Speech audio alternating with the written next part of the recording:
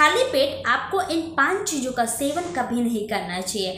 आपकी तबीयत भी खराब हो सकती है और आपका मूड भी खराब हो सकता है। जी हाँ रोज़ाना सुबह उठते ही कुछ ऐसी चीज़ों का हम सेवन कर लेते हैं, जो हम, बाद में हमारी तबीयत खराब हो जाती है और हम सोचते हैं यार, हमने ऐसा क्या खा लिया? हमने जो खाया वो वो तो हेल्दी है, लेकिन कुछ हेल्दी चीज़ें अगर आप खाली पेट खाते हो तो ये आप पर भारी पड़ सकती है। तो आज का वीडियो बहुत ज़्यादा यूजफुल होने वाला है आपके लिए। इस वीडियो को ज़रूर देखेगा और इस वीडियो को अपने फ्रेंड एंड फैमिली के साथ ज़रूर शेयर करेगा दोस्तों, मैं हूँ आपकी दोस्त श्रुति गुप्ता और अगर आप पहली बार मेरे चैनल पर आए तो प्लीज़ जो नीचे रेड कलर का बटन है, उसे क्लिक करके चैनल को सब्सक्राइब कर लो। और बगल में जो घंटी है ना, उसको भी बजा दो ताकि मेरी वीडियो की नोटिफिकेशन सबसे पहले आप तक पहुँच सके। तो चलिए आज का वीडियो स्टार्ट करते हैं।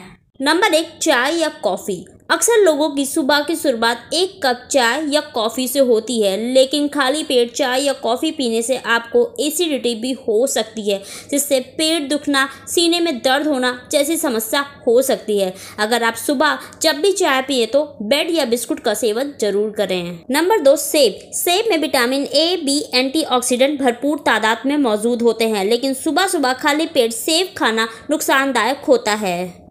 सलाद सेहत के लिए अच्छा होता है और खाना भी चाहिए, लेकिन खाली पेट सलाद का सेवन करने से गैस एसिडिटी की समस्या हो सकती है, किसी को हार्ट बर्न की समस्या भी हो सकती है। नंबर चार, अमरूद। अमरूद का सेवन सेहत के लिहाज से काफ़ी अच्छा होता है, लेकिन इसका भूल कर भी खाली पेट सेवन नहीं करना चाहिए। जी हाँ खाली पेट सेवन करने से आपको पेट दर्द की समस्या हो सकती है। टमाटर का सेवन खाली पेट नहीं करना चाहिए, इसकी तासीर गर्म होती है, जिससे आपको सीने में जलन या एसिडिटी हो सकती है। आई होप अगले बार ये जो पाँच चीज़ें हैं, चाय, सेब, सलाद, टमाटर, जो भी चीज़ें हैं, अगर आप सेवन करने जा रहे हैं तो उससे पहले सतर्क हो जाइए।